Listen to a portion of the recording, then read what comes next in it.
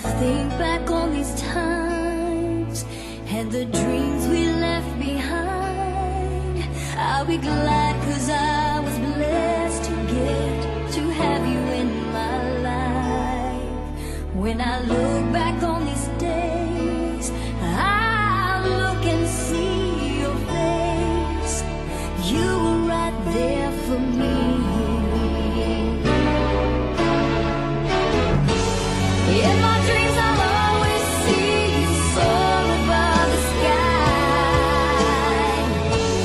in my